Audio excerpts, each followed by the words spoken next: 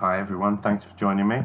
Um, and I'm going to say a quick thank you as well to uh, this software that I'm using, which is OBS and is a free download. So thank you very much to them. Um, this flat earth stuff is addictive in that the more you look into it, the more I think you're sort of trying to find a curve. And I've just put something that I see every single day and that hundreds of thousands of people see every day um, to a really simple test of curvature. And I'm going to take you through it on the internet because it's absolutely silly. Um, we'll start on Google Earth so I can show you. Uh, welcome to the United Kingdom. Just give everyone a, a quick uh, introduction.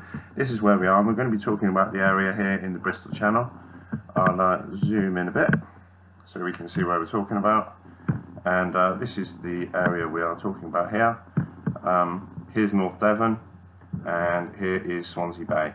Um, I'll take us into a picture of Swansea Bay to start us off and this is where we're talking about. This is Swansea Bay here. Uh, so in fact, zoom that in a little bit so I can give you a better perspective on exactly where this looks like. That's better, Swansea Bay, okay. Uh, the distance, as we can see, from the area we're talking about here, which is going to be the Mumbles Head, and the Mumbles Lighthouse. So there's a pier on the end here, and there is a lighthouse here. And here is a great big steelworks, and here is a long flat beach. Here on the M4 motorway, this is what I mean by hundreds of thousands of people know about this. Every single day, thousands and thousands of people sit here, bored, stuck in traffic along here because there's always a traffic jam where it goes into a dual carriageway, and they look across here at the Mumbles Pier and people sitting here in traffic because this is a tourist spot and it's a little windy road with quaint old buildings and stuff there's always equally a traffic jam. Um, because it only kind of goes to the pier into a car park and stuff it's not the main road round to this part. So again you're always stuck in traffic there. And on a clear day quite clearly everyone will tell you that you can see the beach at Aberavon now it occurred to me that that's too far so I'm going to just give us a quick introduction here. And the site I'm using to work this out is davidsenesac.com which is really really helpful um, and it explains um, how to apply the theory to work out the curvature of the earth and it gives you some examples to get your brain around it. And then if that doesn't work um, even more conveniently writes down the miles and the height and feet of curvature here. So for 10 miles, there should be a curvature of 66 feet. Now, the distance that we're talking about here isn't quite 10 miles.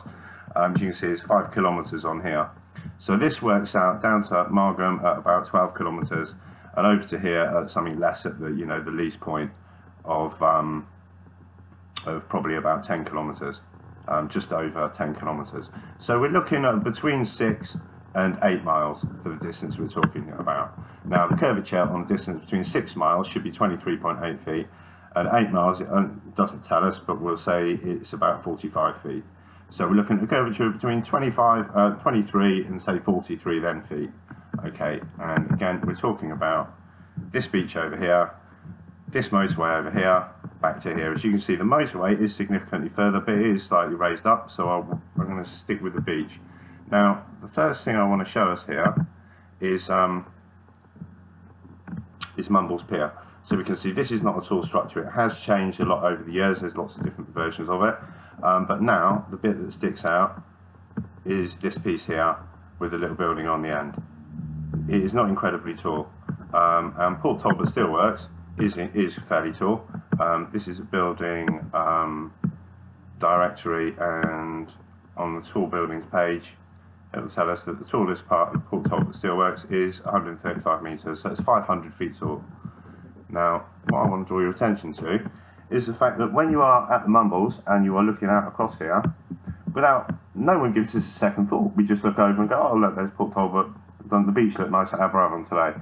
Look at all that stuff coming out of Port Talbot Steelworks, like that, um, which is probably what these big clouds are. Okay, but what we notice in all these pictures is there is a beach in the background at Port Talbot. And just to draw your attention to the geography of this, the little bit that you can see going in there in the corner is the river that goes up, and Aberavon Beach is right next to this, and then the steelworks are further around here. And this, in every single picture, where you're looking at the same angle, again, this is where the river goes up, there's the steelworks, there's the beach. And just to show you that, there's the steelworks, there's the beach.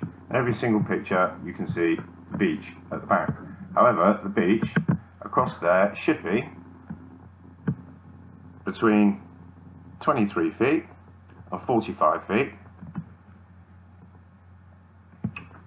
beyond the horizon or behind the horizon or however they describe it, which it quite clearly isn't. Now, the next point I'm going to bring us onto here is um, a, a, further picture um, to prove that point because just behind it, as I pointed out, where the lighthouse is, which is just behind the, the piers on the little headland around this corner which sticks out the front. Again, you can quite clearly here see Port Talbot Steelworks. These are the cranes at one end, which look a bit like Star Wars walkers, and here's a beach along the middle. And just I have downloaded that so that you can see on the blown up version. So let's very quickly open that. And um, here's the same picture. Let's zoom out so you can see. Here's the same picture. Quite clearly Mumbles Lighthouse, which again is not a huge structure. We're not talking about this being 500 feet out of the water. Considering that people can see it out from Lundy Island, which I'll come to in a minute. Um, again, it's, it's, would defeat the object of having a lighthouse there. This should be like up here if it was going to going to um, actually do its job. But let's zoom in for what I'm talking about and illustrate this point is the beach. So I've gone full zoom, I'll just put it down and all the way along here, we'll go along to these furthest points. Not only can you quite clearly see a beach along the end of here, but you can also see waves breaking along the end of the beach here. There is nothing obscured, and this most certainly is not under 45 feet of curvature. If you walk down here and stand on the beach, you look around whether the sand dune is behind you, this is 10 or 12 feet. 45 feet, your curvature should be right up here, not down here. You can't. There's no possible way on earth that you should be able to see all that. Next point, um, and I'm going to take us to Port Talbot Steelworks, seen from Culbone Hill in Somerset. Again, we can see the big tower, and along this is the end where we're just looking at. And although it's a cloudy day, you can quite clearly see in the background the hills looming behind, and you can quite clearly see the beach in the foreground. Um, back on Google Earth, I'll show you where we're talking about, is over here, okay, and we're looking over here on a cloudy day. Um, in fact, I'll take you to the picture and show you exactly where it is. It's here, and we're looking back across here. Now, the distance we're talking about here is somewhere around 30 miles. So our curvature at 30 miles is quite easy to work out because uh, Mr. Senesac's already done it for us, it should be 595 feet. Well, quite clearly, that is not under 595 feet of curvature because that tower isn't 595 feet tall. Uh, so again, that's, uh, I don't need to keep that open for me, that's completely ridiculous. These towers, the tallest part of that is 135 metres, which is 500 feet, and that should be under 600 feet of curvature from that point. So this, as a one-off picture, completely proves that the Bristol Channel is utterly flat. The next point I want to go on to, and I've shown you where that is, isn't it, is um, I mentioned Lundy Island. Well, Lundy Island here, you can quite clearly see again from the edge of Devon. Take me to the edge of Devon, and here it is. Here's the point at Hartland, and out to Lundy Island. And again, we've got five kilometres here. So we're looking at about 16 kilometres or 10 miles, 66 feet of curvature. Um, and quite clearly, there's not 65 feet of curvature there, because if you go and have a look at Lundy Island, these cliffs are only about 65 feet tall on the lower parts. Um, you can see quite clearly on these pictures here. They're not that tall. So again, just to point out, this curvature, you shouldn't not only be able to see the bottom of the island, you shouldn't be able to see almost all of it. And as a further point to that, um, I'm just going to again draw our attention to Google Earth because something I, I, did mention the lighthouse at Mumbles, okay, which is on here, which you can see as you come past Lundy, which is 40 miles away.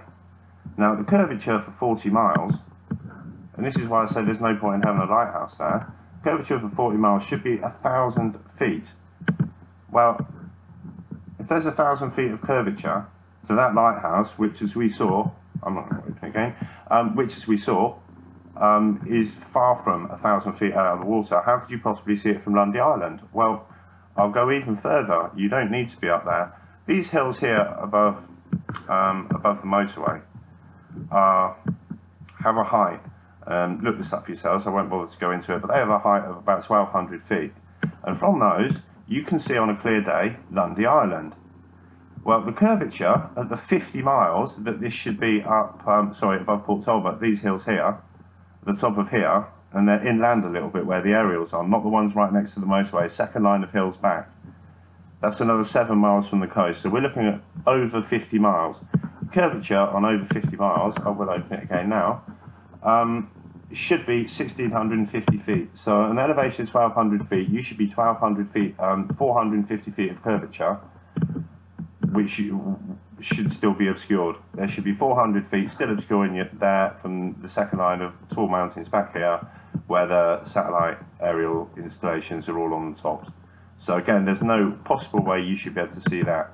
But anyone who is sitting in traffic and hasn't paid attention before, the next time you're down here and sitting in traffic here, just take a look across there and on a clear day, not only can you quite, oh, quite clearly see the mumbles, but you can see across the other side to Devon. And that's just from sitting on the motorway in traffic. There's thousands of people see this every single day. And as I said before, my theory for this is that at school we should have been told to go out and investigate and to measure the curve. It's the kind of thing that they would have told school kids to do when I was at school. And the reason we didn't do that is because there isn't one. Because I'm genuinely trying to find a curve here. And um, I'm just becoming more and more convinced that there isn't one. So please give me some comments and let me know what you think about this. Thank you very much for joining me. And that's all I've got to say tonight. Thanks.